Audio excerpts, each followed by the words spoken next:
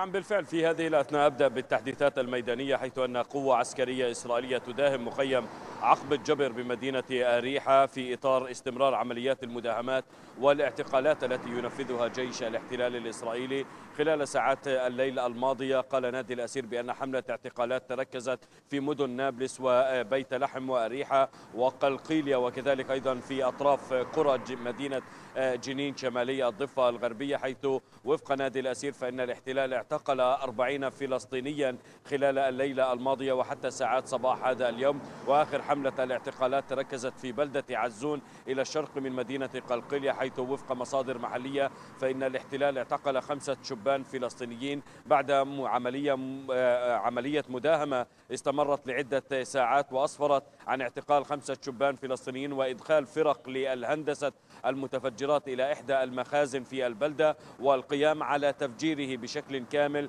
من قبل جيش الاحتلال الإسرائيلي. نشر جيش الاحتلال مقطعا يظهر جنود الاحتلال الإسرائيلي يقومون بالعد التنازلي ومن ثم تفجير هذا المخزن بزعم العثور على عبوات ناسفة محلية الصنع.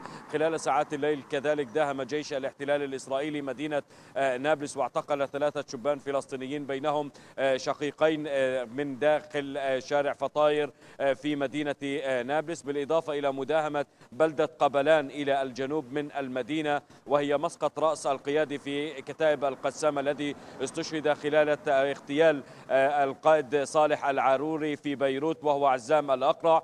تم مداهمة البلدة واعتقال تسعة شبان فلسطينيين وإجراء تحقيقات ميدانية نظرا طبعا لعملية مسيرات ورفع للأعلام والمشاركة بتعليق صور داخل البلدة بالإضافة إلى حملة مداهمات تركزت في بطن الهوى بمدينة رام الله واعتقال ثلاثة من الكوادر الطبية وحملة مداهمات كذلك أيضا في منطقة الخليل. وفق نادي الأسير فإن حصيلة الاعتقالات في الضفة الغربية ارتفعت إلى أكثر من 5780 حالة اعتقال من قبل جيش الاحتلال الإسرائيلي منها 240 حالة اعتقال منذ بداية هذا العام في أعلى إحصائية تسجل في الأراضي الفلسطينية في فترة قياسية في ظل استمرار طبعا المشهد الميداني. هنا في مدينة جنين ترقب ميداني واسع وكبير ولافت حقيقة في أعقاب مقتل جندية إسرائيلية من قوات الخاصة في حرس الحدود وإصابة ثلاثة آخرين أمس في تفجير عبوة ناسفة بمنطقة الجابريات. التخوفات أن تكون هنالك عملية عسكرية كبيرة ومباغتة لجيش الاحتلال الإسرائيلي. رفعت الأذرع العسكرية درجات الحيطة والحذر في كافة طيب. أرجاء المدينة وكذلك أيضا المخيم. خالد نعم. لطالما تعرضت الضفة الغربية لاقتحامات وحملات اعتقال وكذلك لمضايقات للشعب الفلسطيني ولكن هل لك أن تصف لنا كيف تغيرت هذه الصورة بعد السابع من أكتوبر وحجم التصعيد الحاصل نعم بالفعل الأمر لم يكن مرتبط بالسابع من أكتوبر. يعني كنا ندرك تماما منذ العام 2021 بأن الضفة الغربية أخذت منحنى ميداني مختلف تماما عن العقدين الماضيين منذ سنوات ما بعد الانتفاضة الثانية تحديدا ما بعد العام 2005 تركزت عمليات الاقتحام والمداهمة بشكل محدود باتجاه بعض القرى البلدات المدن والمخيمات. وكان هنالك اعتبارات أمنية وسياسية تحديدا للمناطق المصنفة ألف أي بمعنى لم يكن هنالك تلك العمليات الواسعة والمكثفة منذ العام 2021 ومع نشأة كتيبة جنين بدأت تحولات ميدانية في ظهور الأذرع والمجموعات العسكرية في ظل تنامي اليمين المتطرف الإسرائيلي الذي قاد وجعل من الميدان في الضفة الغربية تربة خصبة لظهور مزيد من المجموعات المسلحة. أصبح لكل مدينة كتيبة وأصبح هنالك عرين الأسود وأحفاد الياسين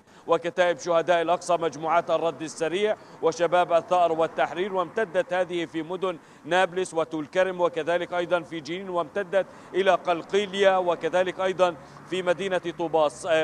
صعد جيش الاحتلال الإسرائيلي بشن عمليات عسكرية كبيرة وأطلق عليها آنذاك كاسر الأمواج لكن باءت بالفشل في ظل قدرة الأذرع العسكرية على الاستمرار بتنفيذ سلسلة من العمليات ردا على الجرائم والمجازر الإسرائيلية في قتل مئات الفلسطينيين والشبان والأطفال في مناطق الضفة الغربية. وبالتالي هذا التصعيد الإسرائيلي قاد كمسبب أساسي في مناطق الضفة الغربية ومدينة القدس لأحداث طوفان الأقصى ولاحقا جن جنون الإسرائيليين في تنفيذ عمليات مكثفة واسعة.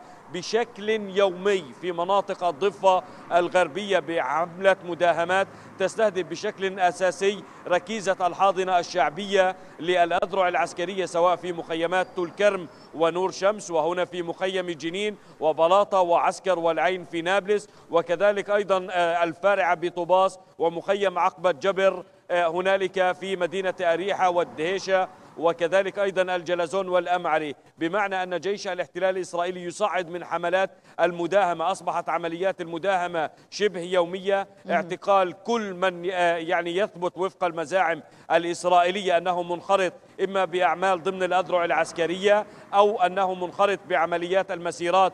آه، وما يوصف بأنه تحريض فلسطيني ضد الأهداف الإسرائيلية وبالتالي بات واضحا بشكل جلي بصورة يومية هذه الاقتحامات عبر الدفع بأرتال عسكرية وتنفيذ عمليات لم تكن محد... كانت محدودة خلال الفترة الماضية لكن اليوم نتحدث عن عمليات تستغرق آه، نحو 60 و70 ساعة لجيش الاحتلال الإسرائيلي في بعض المخيمات والمدن الفلسطينية تحديدا في مناطق الضفة الغربية. وبالتالي نحن أمام مسببات انفجار أكبر يدرك الجميع والمنظومة الأمنية الإسرائيلية أن الضفة الغربية حتى هذه اللحظة لم تنخرط على الرغم من دم شلال الدم السائل في المنطقة. أنها لم تنخرط بشكل كلي في المواجهة. وهذه الخشية الإسرائيلية الآن أمام عمليات المداهمة هي كما يقول الإسرائيليون أنها لوأد أي محاولات مبكرة لطوفان قادم لربما والتصريحات الإسرائيلية أن الجميع يتحضر لهجمات مماثلة لما حدث في قطاع غزة